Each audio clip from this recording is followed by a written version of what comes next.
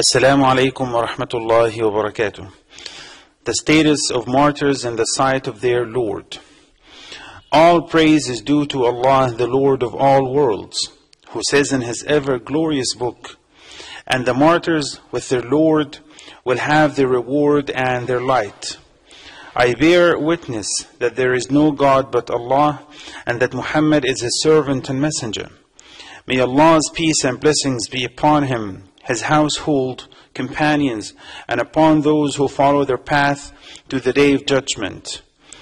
Martyrs have a great status and a noble rank because of the sacrifices they present for their religion and nation.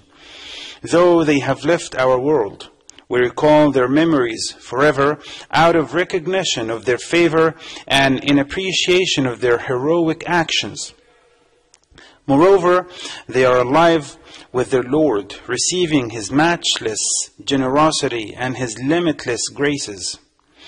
The Almighty Allah also said, You who believe, seek help through steadfastness and prayer, for God is with the steadfast. And do not say that those who are killed in God's cause are dead. They are alive, though you do not realize it. It is reported that Jabir ibn Abdullah said, The Messenger of Allah, peace be upon him, met me and told me, O Jabir, why do I see you upset? I said, O Messenger of Allah, my father was martyred in the battle of Uhud, leaving my family and, in, and debt behind. He, peace be upon him, said, Shall I give you news of what your father met Allah with? He said, Of course, O Messenger of Allah. He said, Allah does not speak to anyone except from behind a veil, but He brought your father to speak to him directly. He said, O my slave, do you wish that I give you anything? He said, O Lord, give me life so that I, I may fight for you a second time. So the Lord, the Most High, said, It has been decreed by me that they shall not return. Jabir said, So this ayah was revealed. Do not think of those who have been killed in Allah's way as dead. They are alive with their Lord, well provided for. Martyrs hold the highest rank and the best degree among humans. This is why they became after death in the company of blessed people, including prophets and righteous persons. Allah Most High said, Whoever obeys Allah and the Messenger will be among those who has blessed the messengers, the truthful, the martyrs, and the righteous. What excellent companions these are. This is because they are people who hold a winning deal.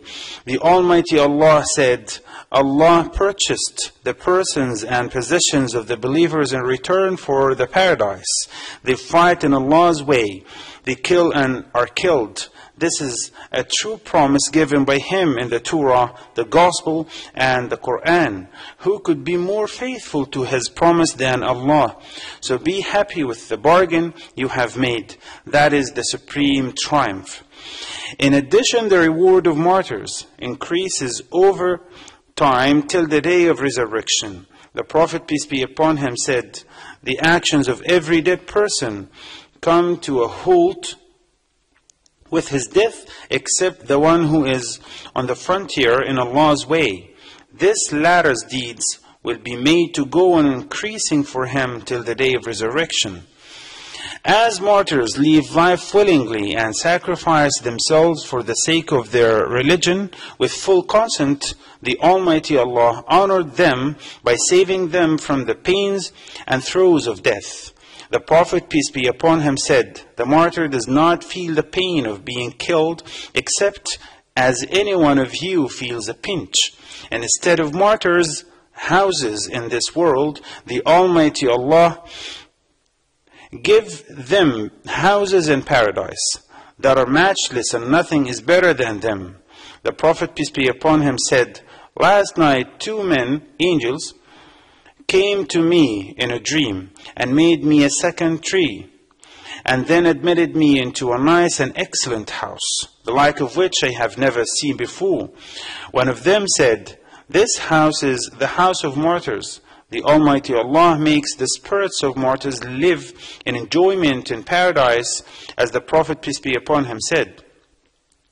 When your brothers were martyred in the battle of Uhud, Allah put their spirits in the crops of green birds, which go down to the rivers of paradise, eat its fruit and nestle in lamps of gold hanging in the shade of the throne. Also, when the mother of Haritha ibn Suraqa asked about the destiny of her son after she had died as a martyr in the battle of Badr, the Prophet, peace be upon him, answered her, O mother of Haritha, in paradise there are gardens, and your son has attained to the highest one, Al Firdaus. All praise is due to Allah, Lord of the worlds. May Allah's peace and blessings be upon Prophet Muhammad, peace be upon him, his companions and followers. It goes without saying that martyrs are good offspring who are descendants of pure and righteous families. Their families have raised them to sacrifice themselves for the sake of their religion, nation, and honor. This is why Allah rewards also the families of martyrs for their good education of their sons. The Prophet, peace be upon him, said, The intercession of a martyr will be accepted for 70 members of his family. We stress that martyrs are noble persons who realized the truth and defended it and sacrificed themselves for its sake. They defend their religion, land, honor, nation, and the security and safety of their countries.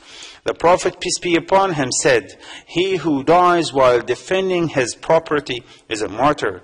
He who dies in defense of his family is a martyr. He who dies in defense of himself is a martyr. And he who dies in defense of his faith is a martyr. This is why the martyr's deeds and actions for the sake of truth are among the best action of worship. The Prophet, peace be upon him, said, Shall I not tell you of a night better than Laylatul Qadr, the one who keeps watch at night over the troops in a land of fear, namely war, for that he may not return to his family. The Prophet, peace be upon him, said, Two eyes will never be touched by the fire of hell. An eye which weeps out of fear of Allah, and an eye which spends the night in guarding in the cause of Allah. May Allah protect our country Egypt and all other countries of the world.